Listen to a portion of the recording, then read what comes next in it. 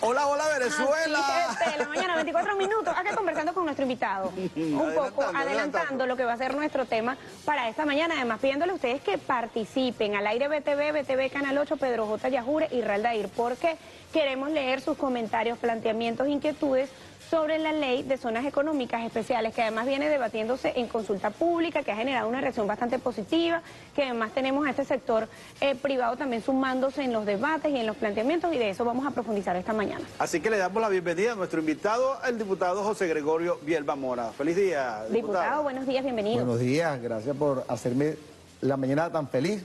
O sea, llegamos esta mañana riéndonos, ¿verdad? Claro, siempre con Contento. energía positiva. Y nos falta nuestro lema. Hola, hola, Venezuela. hola, Venezuela. Si no, No, si no, no, no, no mire, invitado que no, no tenga ese saludo, eh, tiene menos participación en el Sí, programa. sí, Entonces, le cortamos, le cortamos sí, espacio, Corta, porque- corta, sí, hay que despedirlo Yo antes. estoy a las 3 de la mañana practicando. Ah, la señora Carla lo, lo levantó temprano A a, practicar. practicar. Ah, así no es, José Gregorio, es así. No, con energía. Con Fíjense energía. que nosotros hablábamos de la ley de zonas económicas especiales la semana pasada, de hecho también lo abordamos eh, con uno de los diputados en este tema de la consulta pública, pero también nosotros recordamos que la ley- las zonas económicas especiales ya algo que se venía practicando en diferentes zonas del país.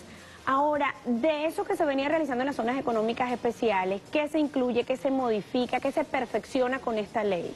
Bueno, primero, mm, Dair, que hay que empezar a, a conocer cosas. Por ejemplo, ley orgánica de zonas económicas especiales no existió en el país. Ni ley orgánica, ni leyes especiales, eso no existía. Crearon unas zonas una poligonal en el país que ninguna funcionó. Tenemos que empezar a, a- a partir de un hecho real para que la gente sepa para dónde vamos. ¿Qué hicimos nosotros en la Comisión Permanente de Economía, Finanzas y Desarrollo Nacional? Nosotros eh, hicimos un estudio a detalle, porque ya estamos cansados de improvisar y la gente Claro. quiere que ahora sumar voluntad y creer en nosotros. ¿Cuántas zonas económicas especiales estaban en, en- en en esa el país, en ese momento? uy, mira, tenía Zulia, tenía el estado Falcón, Táchira, yo, yo tenía una que nunca funcionó, que era el 14 de diciembre del año 2014, no funcionó porque pareciera en, todas estas cuestiones que hay como una especie de, de que no tengas éxito. Ten- tenemos una competencia, yo te hablaba del tema de la Una, tenemos como un, mito de que tenemos que entorpecerle la función a alguien para que no tenga éxito. O sea, pareciera, ¿no? Internamente se ve. Sí, ¿no? o sea, yo lo creo porque, mira, eso no arrancó y, y otras zonas en el país no arrancaron. Porque primero, no hay lectura, no hay conocimiento, no hay estudio, pero hay algo que, no- que tenemos que hacer en este programa a partir de hoy. Generar confianza, construir confianza. Nosotros saber que lo que nosotros hagamos es recibido por todo el mundo con una expectativa gigantesca, mira. ¿Qué quiere el pueblo? ¿Qué quiere el pueblo? Nosotros hablamos del pueblo soberano, hablamos de gerencia, de eficiencia, de revolución. ¿Qué quiere la gente? Revolución. Bueno, quítale la R, pues. Quítale la R y es evolución. Nosotros queremos evolucionar. Y después que estemos avanzando en la evolución, le pones la R, porque queremos hacerlo rápido. Entonces la R es rápido, se la pone a evolución y una revolución que queremos. ¿Quién no quiere estar feliz? ¿Quién no quiere tener este país prosperidad, bienestar, que trabaje toda su vida para tener una jubilación digna? Dime quién no quiere. Como dicen en, en el Táchira y en Mérida, como usted acaba de decir, que, que, eh, se hablaba- bailaban eh, Raspacanilla, Raspacanilla. raspacanilla. o, o Pulevilla O también. Pulevilla también. Raspacanilla, que, que es una música de, de- de- muy, muy, muy sabrosa de, de la parte andina, de la parte de la alta montaña, ¿no? Sí. Entonces, ¿a quién le amarga un dulce? O sea, ¿a quién le amarga estar bien? ¿A quién le amarga vestirse bien? ¿A quién le amarga tener eh, su nevera eh, llena de alimentos? ¿A quién le amarga ver su familia crecer? A nadie. Eso es la zona económica especial. Nosotros queremos que la gente se entusiasme, la gente viva, viva con nosotros, pero tenemos que construir un- la confianza. ¿Y quién la hace? Los medios, Pedro, Dair. La hacen, mire, a, a través de la divulgación, el conocimiento, la educación, buscar dinámicas para poder que todo el mundo diga, sí, la zona económica especial es, que lo que logramos. Pero ¿qué hemos hecho? ¿Qué hemos hecho en la ley? Disculpa, Pedro, ¿qué hemos hecho? No ha nacido la ley. Y ya hay personas que nunca han trabajado. Es muy, es muy sabroso escribir un libro. Yo, yo he escrito dos. Ya voy a sacar el tercero. Pero yo escribo el libro y trabajo. Y, y sé lo que la gente sufre. Yo le pregunto a la que me llevo de la casa, epa, eh, Nicolasa, se llama así, ¿cómo estás tú? ¿Cómo está la familia? ¿Dónde vives tú?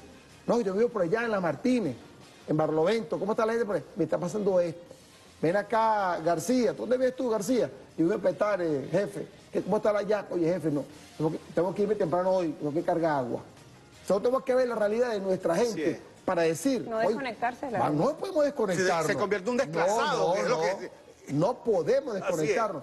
¿Tú crees que a mí no me duele un camarógrafo que trabaja aquí de sol a sol, que llega en la madrugada y se va en la noche y quiere llegar a su casa con un bien- buen beneficio? Sí, pero los que no estudian, los que no trabajan o los que estudian pero no trabajan y escriben, empezaron a hablar ya de las zonas económicas especiales mal, hablando de maquila.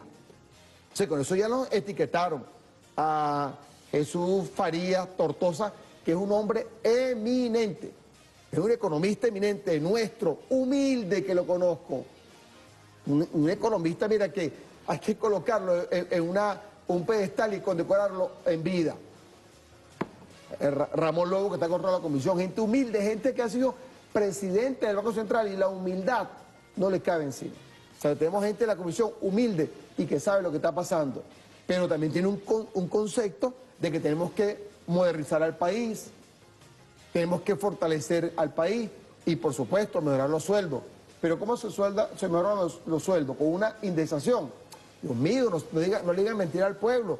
La única forma de poder mejorar los sueldos es produciendo en todos los niveles.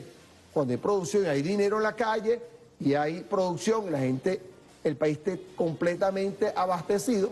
Bueno, compañeros, vamos a la segunda etapa. La primera era confianza que tienes que ayudarme, Pedro, Dair, la confianza. Tenemos que hablar positivo del país, porque ¿qué confianza? Es marca país.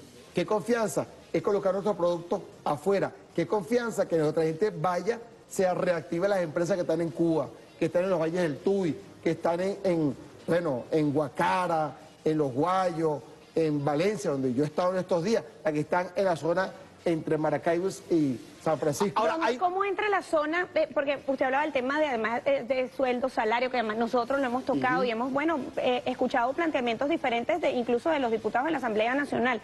¿Cómo entra la ley de zonas económicas especiales para poder fortalecer o para, o para que sea ese, ese objetivo punta de lanza para poder tomar otras decisiones en materia económica? Muy fácil. Las zonas económicas especiales, como están estructuradas en este momento, están en, en lugares especiales y muy bien pensados. ¿Y cómo funcionan? Porque tomando en cuenta eso que usted nos decía, bueno, había zonas económicas especiales que no funcionaban. ¿Cómo- ¿Qué garantiza el funcionamiento con esta nueva ley, con Muy la ley? fácil, por eso te decía, se han creado zonas económicas especiales en años anteriores, pero no podían funcionar porque no tenían la El legislación. No tenían la legislación para hacerlo. Por ejemplo, crean la zona económica especial en 2014 y la ley de inversiones extranjeras fue del 29 de diciembre del 2017. Y para poder hacer una, una zona económica especial tiene que haber ley de inversiones, protección al inversionista, tiene que haber un desarrollo del país, por supuesto, una conexión con universidades, tecnológicos, los gremios, nosotros, nosotros ver al sector privado como nuestro aliado y que el sector privado, por favor, nos vea a nosotros también con nuestros aliados.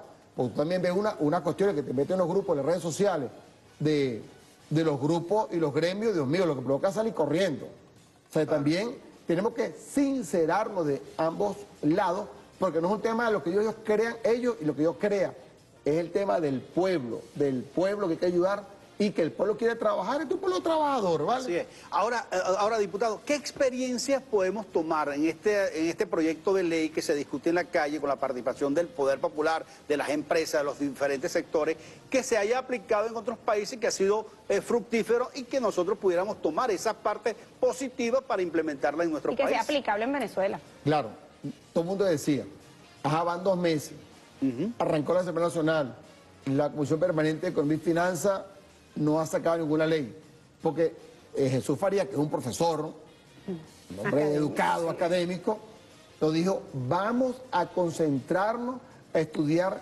nueve países de éxito. Nos dijo, agarren todos los países que hay de zona económica, hay como 48. Estudiamos solamente los exitosos, pues no vamos a agarrar un- uno que fracasó, ni siquiera para saber por qué fracasó. Si agarramos los nueve, en este orden, China, Vietnam, Rusia, Turquía, Corea del Sur extraordinario y agarramos una América Latina. Colombia, que es nuestro, nuestro vecino, tenemos que estudiarlo porque al final Claro. hay una complementariedad de productos entre Claro. Colombia y Venezuela. Brasil, Argentina y República Dominicana. Síganle el punto de la evaluación a República Dominicana ha hecho de todo. Y cuando usted hablaba del tema de Raspacanilla, que la gente se ríe. Bueno, ¿cómo está haciendo ahorita República Dominicana para captar gente? La atención, parece mentira, con la bachata. Tienen un, un, un, movimiento. un movimiento de bachata, pero en todos lados, en la casa. En la... Entonces, mira, pero tú ves cómo ellos van metiendo, en, metiendo su ritmo para la economía. Porque la economía está... Sí. Entonces, hay otro concepto que hay que romper, que la economía es fría. No, la economía tiene sabor a cultura, Sí, a música, a artistas, está conectada a la prensa, al estudio. La economía está conectada a los conocimientos, a la parte científica, tecnológica, a la producción, a la inventiva, a la innovación.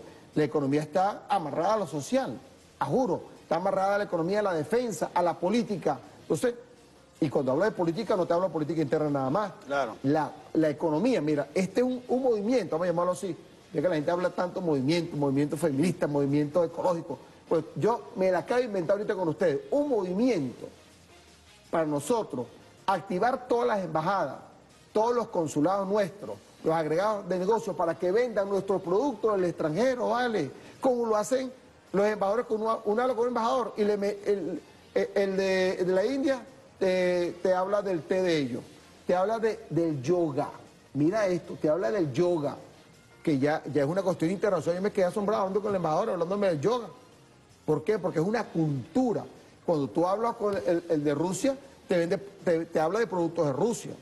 Cuando te hablas de Turquía, te habla el embajador de Turquía de la pasta, del arroz, de, de la De harina. potencialidades desde Porque todo punto de están vista. enamorados de su país. Se Y parecen tú- a un Pedro Yajuri y a una de Israel. Claro, el igualito, así es. Pero mira, si tú no te enamoras de lo que Así haces, es, así es. no puedes ser exitoso. Y yo estoy enamorado de las zonas económicas especiales y nuestra comisión está enamorada y nos han atacado, tú te imaginas, por todos lados, porque nos dice que queremos primero crear una maquila. ¿Qué es una maquila? Nosotros no estudiamos de maquila, yo lo que quiero es que nuestra gente nuestros amigos, los trabajadores y las trabajadoras tengan empleos dignos, bien pagados, donde la gente esté feliz, la gente esté contenta y pueda, por supuesto, reactivar la economía. Por ejemplo, se me ocurre Cuba, Cuba, por ejemplo, no es que yo voy a ser candidato, por ahora hablando de Cuba, como le vaya al TUI, sino como yo paso por Cuba, ahí. Cuba, no Claro. es Cuba, es Cuba, para que la gente Cuba. entienda. Sí, sí. Cuba, Municipio- Cuba. Además, creo que lo estoy haciendo por ti, porque tú eres Valle del TUI. Sí, Eso es la municipio, verdad. municipio de El Planeta por- por por ejemplo. Fíjese, nos vamos a detener acá porque tenemos que hacer la pausa. Hay dos planteamientos que nos están haciendo a través de redes y los vamos a unir para dejar esa pregunta porque está relacionado con el tema económico. Quizás dos preocupaciones que además me parece muy oportuna. Una preocupación de uno de, lo- de los eh, seguidores por acá tiene que ver con la participación del sector privado. ¿Qué tipo de control, de qué manera trabajaría el sector público y privado en las zonas económicas especiales? Porque le está generando como, como preocupación allí. Y el segundo término que además eh, nos ¿Pero quién le está- preocupa? ¿A quién le que preocupa? a- le preocupa a uno de los seguidores que además eh, se llama Helter, dice ese apoyo a las zonas económicas especiales, eh, cómo se va a beneficiar el pueblo directamente y cómo va a ser la participación del sector privado, el nivel de confianza, es decir, va a haber un control de parte del Estado o del sector privado para garantizar que se cumplan los términos, ese es un punto. Y el otro punto que además el señor Luis Gerardo, abogado, dice, me preocupa mucho el uso de la divisa en el país y lo permisivo que ha sido un gobierno que no sanciona nos mantiene, no, no sanciona, no saquea, nos mantiene bloqueados y nosotros utilizamos su moneda. Es decir, eso también le preocupa cómo se suma también ese término de la moneda en las zonas económicas especiales. Dos preocupaciones, además, eh, bien válidas de la audiencia. Siete de la mañana, 38 minutos. El diputado José Gregorio Vilma Mora va a continuar con nosotros luego de la pausa. Ya regresamos. Hola, hola Venezuela, 7.43. Sí, ya estamos de vuelta. Mire, antes de entrar a la, a la que nos pre- a la, a la respuesta del, del diputado, le estábamos preguntando, mira, las medias del diputado, por favor. Ah, Por favor, vale, vale la pena mostrar las medias del diputado, son divertidas. Ese es un 4. No, es una guitarra. Ah, una guitarra. Es Una guitarra. guitarra y una muchacha es Queen, para poder... ese es Queen. Ah, ese es Queen. Claro. A pesar que era la guitarra de Sandro. son- son- mira, de verdad que son eh, eh, muy características las medias del diputado José Gregorio Bierman. Y siempre me está. Pues Diosdado, todo el tiempo me dice que me quita las medias. ¿Por qué? Porque una media negra Ya, que jure. usa. Ah, pero es una colección, Para ver, es una colección. tú, ver.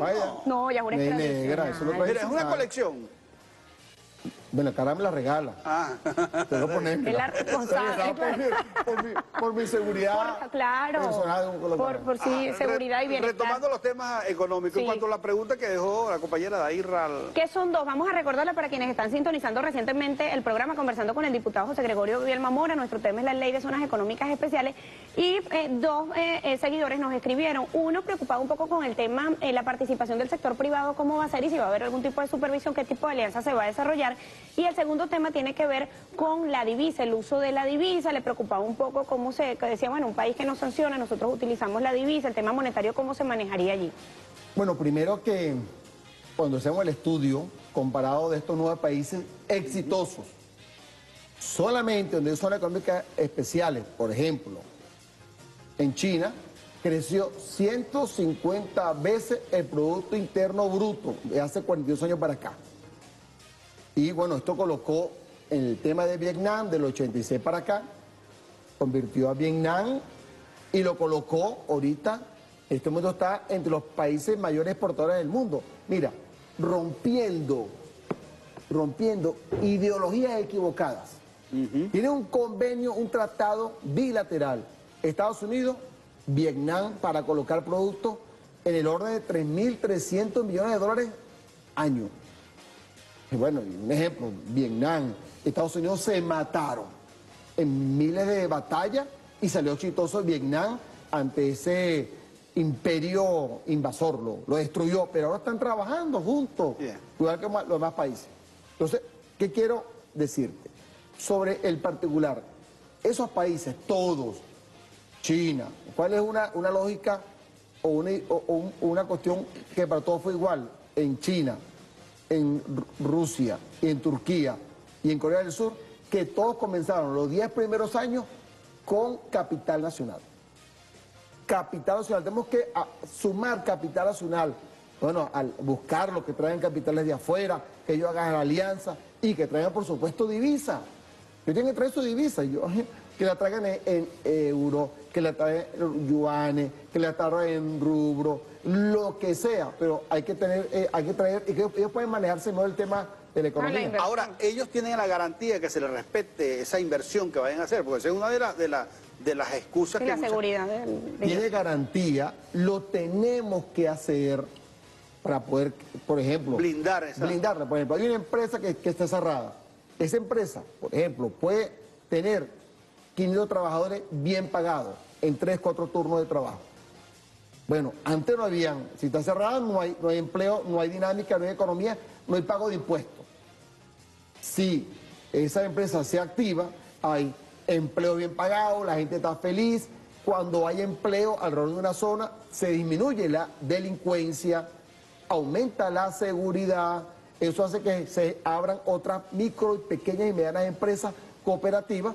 Por ejemplo, una cooperativa de transporte, de, un compañero de un barrio, una señora que está en su casa, que tiene tres hijos, prepara jugos, empanadas, arepas, la vende, ella empieza a trabajar, empieza el tema educativo porque tiene que capacitarlo. So- la, la zona económica especial, la gente la ha visto como un tema económico y está enteramente equivocado porque aparte económico, educativo, capacitación, eh, beneficio, prosperidad, seguridad y por supuesto la lucha contra la delincuencia alrededor. La otra pregunta que estaba pendiente es acerca de la utilización de la moneda extranjera, la, el- el- la divisa americana, como Nos falta- circulación nos- y no hay un control mira, de te eso. voy a decir, nos faltaría mucho legislar, porque en todas las zonas económicas especiales del mundo funciona un sector bancario y financiero. Tengo que empezar a hablar de fondos mutuales, de fondos extranjeros, de fondos nacionales. Hay que hablar sobre el sistema de bolsa de valores del país que está creciendo. Es un tema, mira, apasionante que aquí mueve cerebros mueve corazones y mueve entusiasmo para poder hacerlo. Además, activar y, y tomar en cuenta lo que son las políticas fiscales que han venido cayendo bastante en cuanto a la aplicación, porque hoy en día una de las políticas fiscales, y, y usted es testigo de eso, porque fue uno de los que implementó prácticamente que todos los venezolanos debiéramos pagar los impuestos. Lo que es el César al César y lo que es Dios es a Dios, haciendo esa apelación de, de Jesús. Hoy en día muchas empresas no, no, no entregan factura y el Estado muy bien pudiera mantenerse con gran parte de la recaudación de impuestos. Mira, sola- primero que las zonas económicas especiales, esto quede claro Ajá. para BTV. Las zonas económicas especiales se hacen y se construyen en zonas altamente deprimidas. Porque la zona económica especial lo que busca es sacar a la gente de la pobreza y colocarla en la prosperidad. Eso- esa es la, la razón de las zonas económicas especiales. Por eso están sitia- colocadas en poligonales especiales en Venezuela. Incluso, Dair, no está en todos los estados. Esto no es una piñata que, va a hacer- que vamos a hacer. Esto, donde está, por ejemplo, ¿cuál es la ventaja nuestra, Dair y Pedro? Que ya en Venezuela hay una infraestructura hecha. Valle del Tuy, el eje Guacara-Valencia, por ejemplo, el estado de Carabobo, el eje Puerto Cabello, eh, está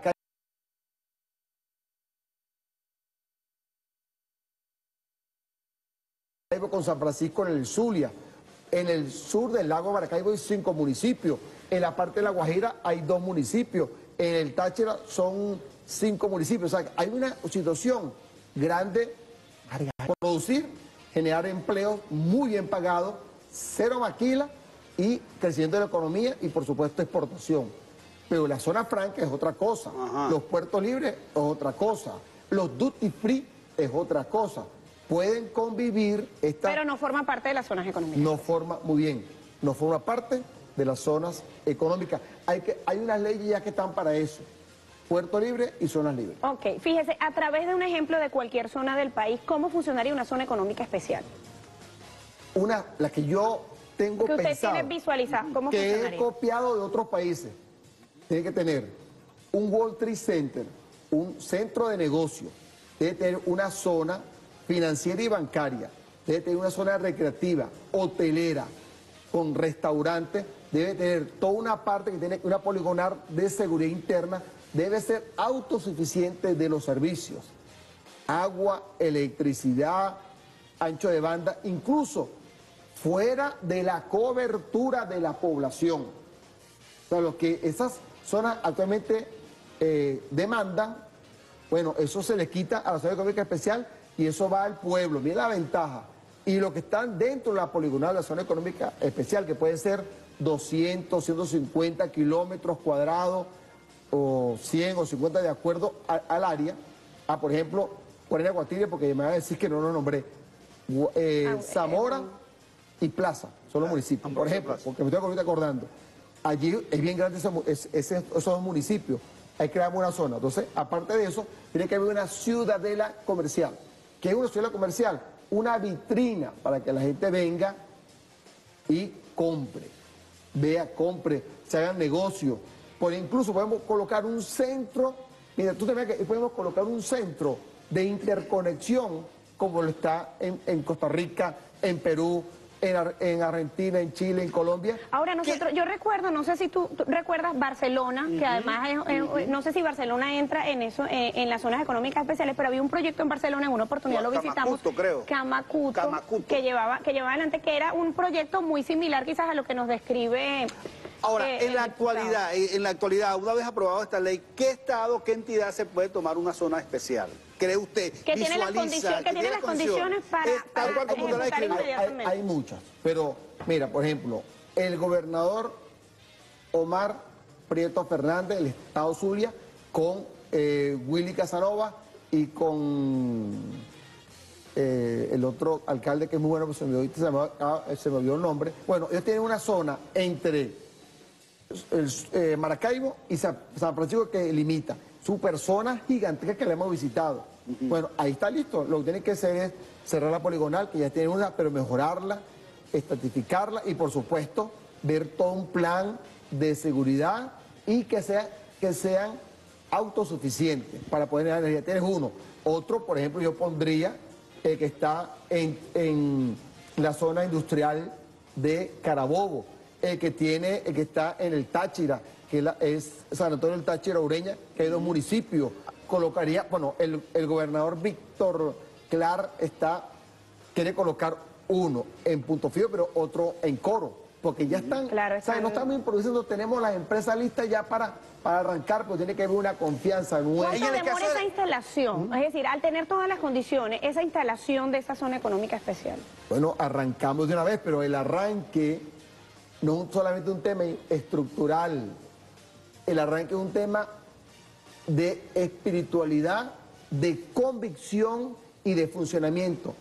Todos los funcionarios públicos que tengan que dar certificado, permiso, tienen que atender con cordialidad al que va, que va a colocar dinero. Yo dije en estos días, hace como un mes, que había que colocarle una alfombra roja y me he callado todo el mundo encima. Bueno, es que alfombra roja hay que colocarle al que tenga una panadería, al que tenga una venta de repuestos, al compañero que está en un barrio, que tengo un amigo que está en un barrio en, en San Agustín del Sur, que en su casa tiene un taller para arreglar moto. Ese para mí hay que colocarle una alfombra roja, darle un crédito en un banco. Tengo un amigo que está en la Yaguara, que él tiene, eh, él, él prepara fiestas infantiles. Ese para mí es un empresario. Porque tenemos el concepto, Pedro y Dair, que el empresario es el que tiene una corporación, el que tiene un, grupo de grandes, grandes eh, galpones. No, empresario es todo aquel que quiere emprender a hacer algo. Entonces, tenemos Que que... tiene una idea de negocio, Sí, tenemos que también... El, el- Fíjese, el que haga estas tazas, pues mira, el que haga estas tazas, para mí, el que haga todo este logo y hace las tazas, para mí es un empresario Así es. que es desconocido. Tenemos que ayudarlo. Pero no ponerle trabas, sino ayudarlo para que tenga su marca, Claro. su patente, su permiso, hacerle las cosas fáciles en la notaría, en el registro. Es una función nuestra, debemos Sí. desplegarlo para Agilizar, es atenderlo. que esos procesos Quedaron muchos temas Sí, por 7.55 nos tenemos que despedir. ¿Por qué? Sí, Se fue el tiempo. Se fue, nos quedó pendiente. Este programa tiene parte 2. Tiene parte de Sí. dos, porque tenemos que hablar del estado de La Guaira, que es una zona Claro. muy ambiciosa. Tenemos que seguir eh, ahondando en cuanto a, a los sueldos, cómo mejorarían los Sí. sueldos con esta. Sí, el tema económico da, el da mucha eh, tela eh, para eso, cortar. eh, Y tenemos que despedirnos. Usted ve allá a su izquierda está Rodiceli Cárdenas, que viene en la emisión de la noticia. Ella está lista, ya le encendieron las luces del estudio vecino. ¡Vecina! Entonces, eso indica que tenemos que ¿Te despedir. traemos café, vecina? Ya está listo. Así que bueno, Bueno. gracias por habernos acompañado, diputado. Gracias por venir. Espero que le haya gustado el café. Lo preparó el señor Pedro Yajure tempranito. Bueno, la próxima vez traigo yo el café.